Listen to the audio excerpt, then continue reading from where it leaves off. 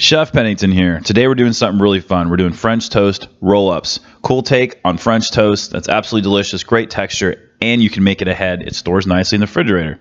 So you can wake up Saturday morning and have this ready to go, no problem. We're gonna use a serrated blade. A serrated blade just has those little edges on the little rounded edges on the bottom. It makes for a cleaner cut. It's just a lot easier, won't tear on your bread or anything like that. This recipe is scaled for eight. You guys could actually make more than that, um, but I just went with eight. I've taken a cup here and smoothed it out. You guys can use a rolling pin. The whole idea is just to get it really flat. The reason you want it really flat is so when we roll it up, it keeps its nice shape.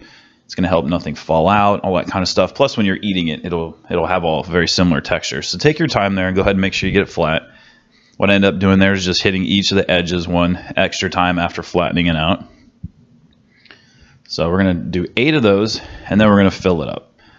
What are we going to fill with? That's the cool thing, whatever you guys like. For this recipe, I'm using some strawberries here, and I'm going to do a fairly small cut on them. not doing a mince or something like that. these are going to turn into like long strips the way we're going to cut this here. So we're going to start off going one direction. The trick to cutting a strawberry or even a tomato is to start the knife off really gently on the outside flesh and then push down. If you just come into it and push down, you're going to cut yourself or something not good is going to happen. So just feel the edge and then start going through and let the knife do the work. So we got our strawberries, that's good. So we're gonna use some cream cheese with our strawberries. Who doesn't love some cream cheese? Nice and creamy, obviously. And the sweetness from the tomato wakes up the whole the whole wonderfulness of French toast. Because French toast can often be a little bit heavy. So that nice bright pop of, of strawberry is really nice. I loved it personally. And the Nutella is really good too. So we're gonna do two different fillings here. So one side is to be where we're filling, and the reason we put cream cheese on the other end is that's our glue. So once we roll it up, it's going to stay together nicely for us. And texture, you guys know I'm big on texture, so a little almond or whatever you guys like, it really did bring to the dish. When you're eating it, you'll know it's in there. It's not crunchy, but it's a nice texture. It's really cool. So we're going to roll it up. Take your time. It just looks better if you take your time. Plus, you can get your kids in there. They can be your they can be your little workers and roll these up for you. You guys can make a hundred of them in no time. So there's our first one. Let's do one with some Nutella. And Nutella is hazelnut in a chocolate mix. It's really good. Um, I've actually not used a lot of Nutella in my day, so I use it for this, and I thought it was great. I really like the Nutella one. I think better than the cream cheese, but they were both so good. It's hard to pick. So we're rolling up here, taking our time, and then the glue. The glue really, don't miss out on the glue. Plus it's a, it's a good way to add extra filling and flavor. So let's make our batter for our French toast. You could use this just as a recipe for regular French toast. It's just pretty much the exact same. So we're using two eggs. Don't use three unless you guys want to scale the, the, the dish up but going for this recipe, be sure to use just two because three gets a little bit too thick. I did try it, matter of fact. So here we go. We got two going. You want to mix them pretty well.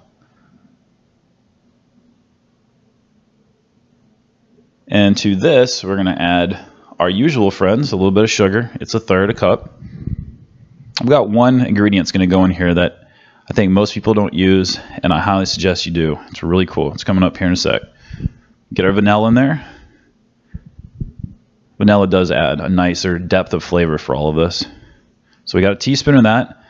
Got some brown sugar, which is nice. It's a little molasses there. Salt, we need salt for flavor. Cinnamon, and here's our, our extra ingredient. We're going to use an eighth of a teaspoon of allspice. It really ups the flavor profile. And you wouldn't really know it's in there, which is great because that's when you're eating, you're going, wow, this is great and delicious. Why is this so great and delicious? Well, the allspice is the, we'll say is the secret ingredient. So let's cook these guys off.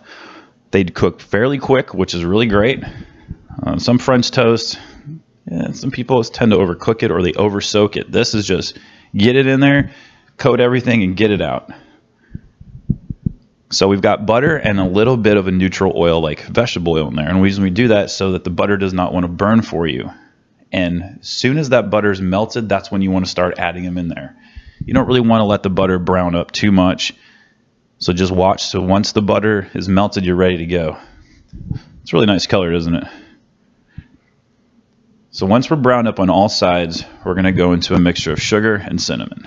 almost like a churro, which is a you know Mexican dessert, which is really good, fried donut kind of goodness. Well, this is kind of an in betweener of that, really. So let's plate it up. A Bunch of ways to plate it. I made a stack because they look like logs, and I think it looked cool. Little bit of a strawberry to garnish. And you can stick that in the refrigerator just like that, guys. This is really good. I love it. You guys are going to love it. It stores great in the refrigerator. That's the whole make ahead parts. Don't cover it up or it'll get kind of mushy. Join us on social media. We'd love to have you guys. Go ahead and hit the subscribe button below. There's a printable recipe card on the website link below. You guys have the best one. Take care.